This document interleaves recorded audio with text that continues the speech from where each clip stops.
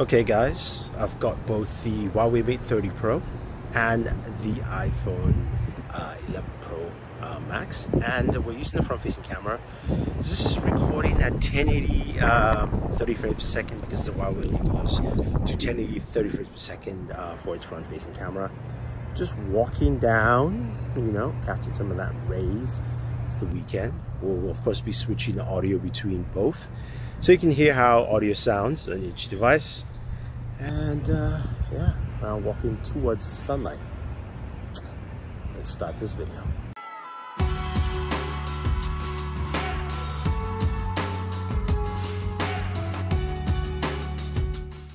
Oh, so starting off with the front-facing camera, you can see the iPhone does a really good job here, keeping my skin tone and also uh, giving just nice bokeh effect around the image. Now, the bokeh effect on the Mate 30 Pro is okay, uh, but you can see it's really uh, it's really dulled down my image and making me look much lighter than I look.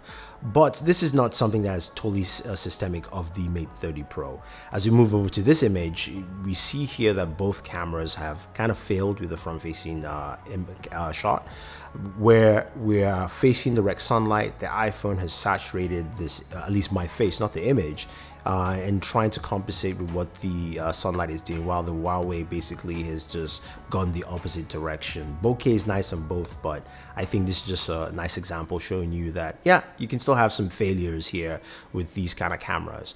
Uh, this next shot here is where the Huawei does a better job, but now it's now making me more red.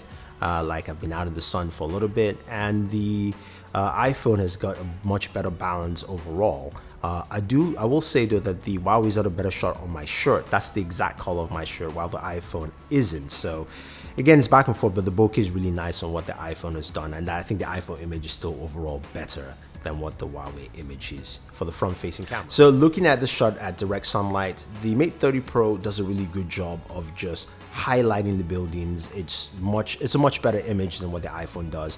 iPhone is is nice, but the Mate 30 gives just detail, texture to the image. Though the iPhone just captured the sun a little bit better, uh, but I definitely love the image from the Mate 30 Pro. Just very it's very vibrant and punchy image, but also really clear and sharp. Now when we move over to the wide angle lens, uh, the Mate 30 Pro image is much punchier, but also gives you more detail and I can see more. Uh, and it's going over towards the yellower hue, if you will, while the iPhone is a bit flat uh, in terms of this hue and also it's darker in certain locations. So I can't see the backyard there, but the, the iPhone wide angle lens is much wider, gives me a wider berth, but I can't see as much as I like to see. Now moving over to the uh, shots at night, this is using the AI mode of the Mate 30 Pro. The iPhone image is brighter. Uh, it is a brighter image than the Mate 30 Pro image, but the Mate 30 Pro I think is sharper and I can see more details in the background of this image. So the, the bottles at the back and things like that. But I think both images are good. Now, this second image here really shows you the difference in lighting philosophy. iPhone adds a lot of light to this. It feels like there's an extra light source where that candle is, while the candle representation on the Mate 30 Pro is much more to accurate point and the image I, I, prefer the image on the mate 30 pro because you can still see the color texture of the watch and also keeps a really nice tone. But the iphone image is definitely brighter. Here's a shot outside and i like what the iphone has done here a much brighter image uh, as opposed to what the mate 30 pro ai mode here has done where the um, the the item in the in the image here on the iphone just as brighter. The whole scene is brighter compared to the Mate 30 Pro, which is bright but still feels like you're shooting at night. The iPhone has just more light coming in, or at least it feels like there's more light coming in uh, towards the right, filling up the space. Now, this shot here is one interesting shot because this is a really dark scene and I like what both cameras have done. They highlighted the tree well. They also showed the uh, the leaves uh, quite accurately. I do like what the uh, Mate 30 Pro has done with the berries, or at least the, those things that look like berries anyway, on the trees, highlighting a bit more. And also the fence itself has a bit more texture to it than what the iPhone is doing at this point. Now, this is uh, these couple of shots are just showing all the different lenses. This is the main lens on both cameras. The iPhone is moving towards the yellower hue, while the Mate is going towards more of the lighter or at least the whiter uh, spectrum and both images are good. There's really nothing wrong. I think this may be a bit more of a preference. I do like what the mate 30 pro does because it looks certain parts of the images like the buildings in the foreground look really brighter and i can see those buildings. I can still see the lighting in there as opposed to the darker look on the iphone and then of course the yellower hue all around the image. Now when we go into the zoom lens this is a 2x zoom for both devices. Again same same concept. The mate 30 pro is making it brighter so the the buildings look brighter and then the background with the New York skyline also is brighter. It's trying to sharpen that but it's a little fuzzy. Both of them are trying to do it. Uh, I would say the Mate 30 Pro image is better because there's less uh, uh, it's brighter there's less uh, fuss and also the images are clearer.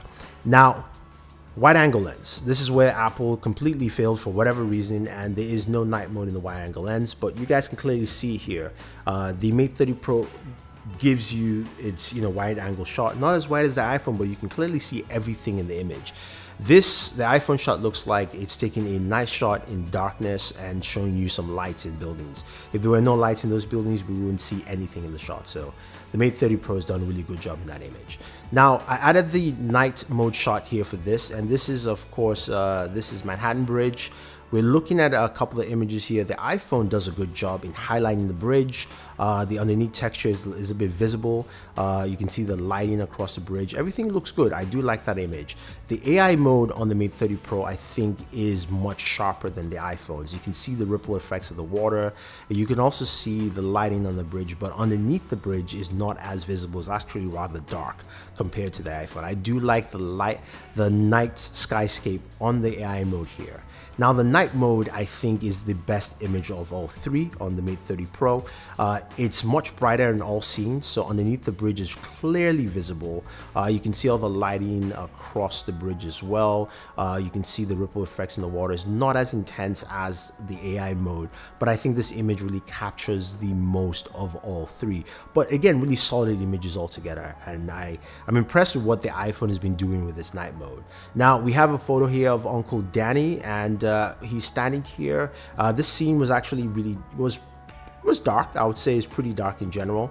And as you can see with each image here, they're all they've all brightened the, the scene up, so you can clearly see Danny um, standing out there. You can see his shoes; uh, they come out well. The iPhone is going over towards the yellower hue. So what you have here is that Danny's skin tone has a little bit more saturation, and the leaves also have more saturation to them. While the uh, the Mate 30 Pro is going to much to the, to the whiter hue, so it's a little bit more flat in terms of color. Uh, and the uh, Mate 30 Pro night mode really brightens up the scene. If you look around Danny's legs, in the iPhone, it's a bit darker. You can see the the shadow kind of cutting through. The AI mode is a little bit brighter, and the Mate 30 Pro night mode is the brightest and really highlights. So you can see the different stages of each image and what they do with actually um, lighting. But I'm quite impressed. I think all three do a good job, um, and you will not be remiss by using any one. I think the the night mode on the Mate 30 Pro is a little bit better, but it's still quite solid images across the board. So we're recording here 4K 60. Again, Again the same, same similar. similar. And you're walking. And you can see the difference between color saturation, stabilization, of course, and uh, what uh, both cameras do. Of course, audio switching between two. And then we're going to run. Not what, Not like, what, like Saf, Saf, Saf didn't like John. Sorry, buddy. Sorry, buddy. Now we're going to run.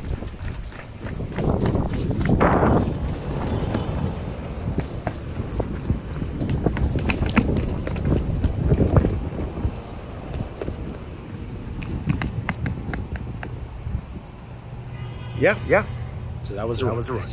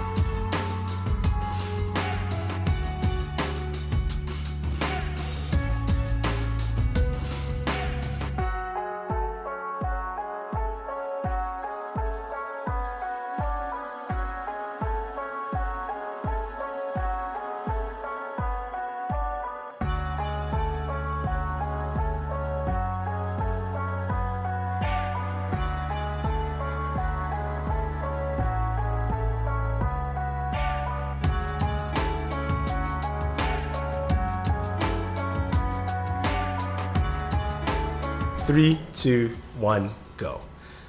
So looking at both images from the iPhone 11 Pro Max and the Mate 30 Pro, uh, they do a good job in night mode, while the iPhone of course does a much better job with portrait photos during the daytime.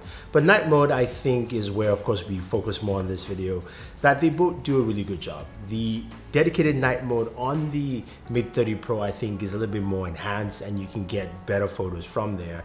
But if you're an iPhone user and you're picking up the 11 Pro Max, you are doing very well. And if you're an Android user and you want to step up to the Mate 30 Pro, this is definitely a solid device for, uh, of course, night mode photos.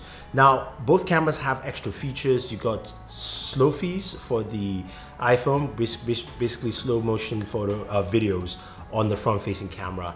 And the Huawei Mate 30 Pro does um, 7,680 frames per second slow motion, which is insanely good uh, for you know anyone who wants to do slow motion photography or video.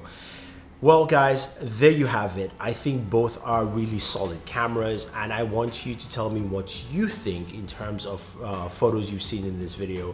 Who do you think is better? If you have any questions any comments, let me know. Don't forget to like and share this video, favorite this video, subscribe to the channel, and Always enjoy your entertainment.